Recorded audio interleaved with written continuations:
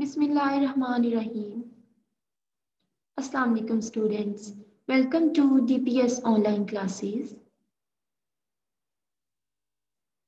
Today is your math lesson number 6 and I am your teacher Aksa Jabi.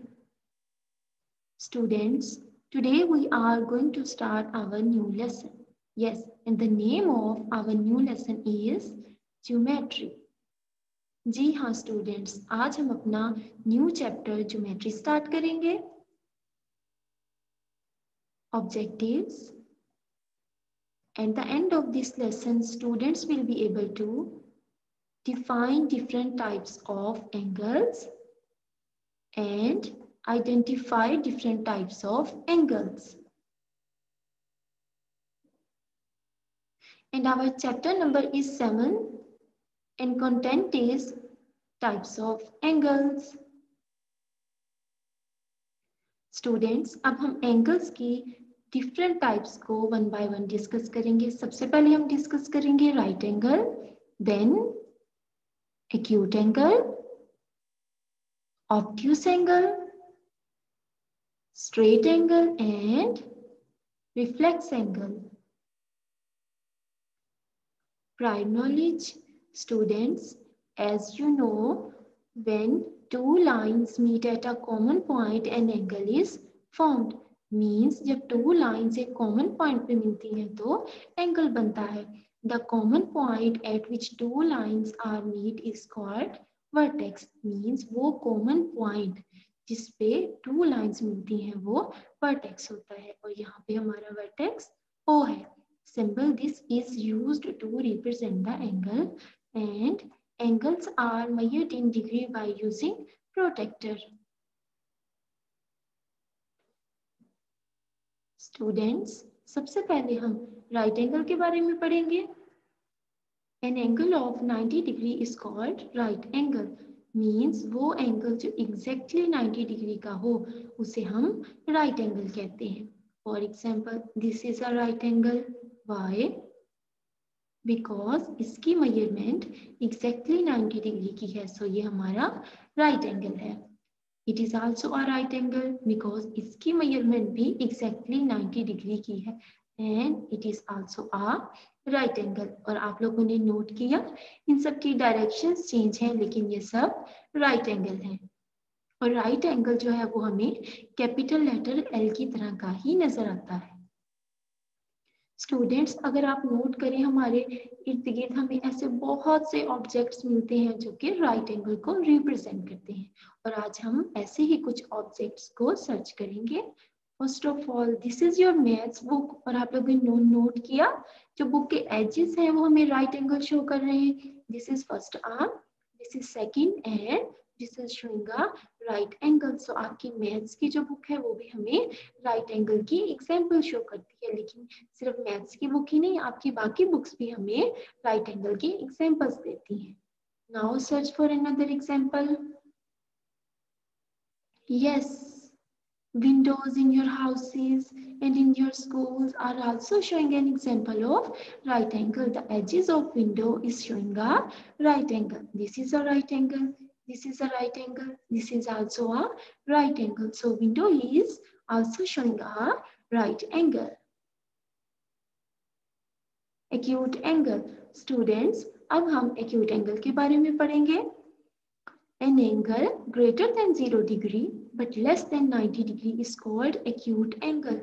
Means वो angle जो greater हो जिसकी measurement greater हो 0 degree से but less हो 90 डिग्री से उसे हम एक्यूट एंगल कहते हैं for example this is a acute angle why because this is an angle of 50 degree and you know 50 is greater than 0 degree but it is less than 90 degree so 50 is a 50 degree is a acute angle and this this is a acute angle same this is an angle of 25 degree and you know 25 is greater than 0 degree but it is less than 90 degrees. So this is also a acute angle. So students, अब हम अपनी real life में से acute angle की कुछ example search करेंगे. Hmm, Caesar, look at the blades of Caesar.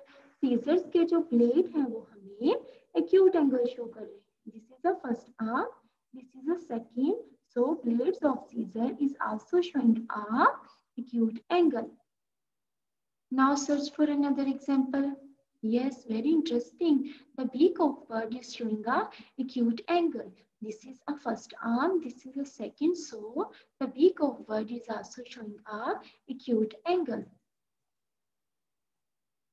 students अब हम ऑप्टिक्स एंगल के बारे में पढ़ेंगे An angle greater than 90 degree but less than 180 degree is called obtuse angle. Means वो angle जिसकी measurement greater होगी 90 degree से but less होगी 180 degree, se उसे हम obtuse angle कहते हैं. For example, this is a obtuse angle. Why? Because this is an angle of 110 degree. And you know 110 is greater than 90 degree but it is less than 180 degree so it is a obtuse angle. Same this is an angle of 150 degree.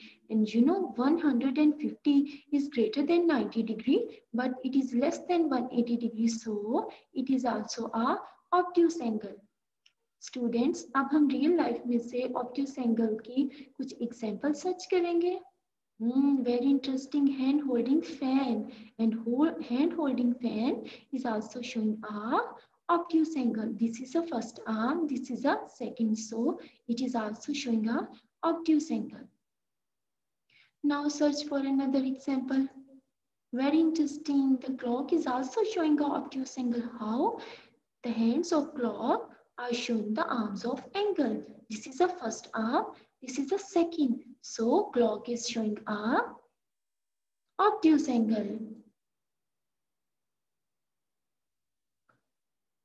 Students, अब हम straight angle के बारे में पढ़ेंगे. An angle of 180 degree is called straight angle. Means वो angle जो exactly exactly 180 degree का हो उसे हम straight angle कहते हैं. For example, this is a straight angle because ये बिल्कुल 180 degree का है. इसलिए ये हमारा स्ट्रेट एंगल है same it is also a straight angle because इसकी मेज़रमेंट भी एग्जैक्टली exactly 180 डिग्री की है और आप लोगों ने देखा ये हमें सीधी लाइन की तरह नज़र आते हैं जी हाँ और आप देखिए, ये हमारे पास स्ट्रेट एंगल है हॉरिजेंटल फॉर्म में और ये स्ट्रेट एंगल है वर्टिकल फॉर्म में। स्टूडेंट्स अब हम रियल लाइफ में से स्ट्रेट एंगल की कुछ एग्ज़ाम्पल सर्च करेंगे। फ़र्स्ट ऑफ़ ऑल अगर आप अपने स्कूल बैग में देखें तो आपको ऐसी बहुत सी चीज़ें मिलेंगी जो हमें स्ट्रेट एंगल शो करती है। Yes this is your pencil और आप लोगों ने देखा पेंसिल भी हमें स्ट्रेट एंगल शो करती है this is a first arm this is a second so pencil is showing a straight angle same ruler students your ruler is also showing a straight angle this is the first arm This is a second. So ruler is also showing a straight angle.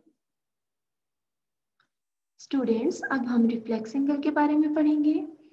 An angle more than 180 degree but less than 360 degree is called reflex angle means वो angle जिसकी measurement greater होगी 180 degree से but less होगी 360 degree से, उसे हम reflex angle कहते हैं। For example it is a reflex angle how Because it is an angle of 255 degree. And you know 255 is greater than 180 but it is less than 360 degrees. So it is showing a reflex angle. Same, this is angle of 270 degree and you know 270 is greater than 180 but it is less than 360 so it is also a reflex angle students अब हम real life में से reflex angle की कुछ example search करेंगे।